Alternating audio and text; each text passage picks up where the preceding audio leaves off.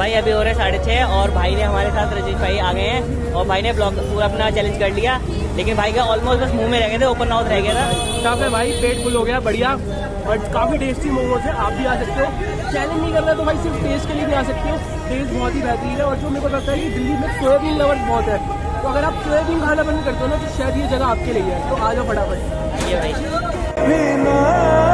समझ मैं सकूँ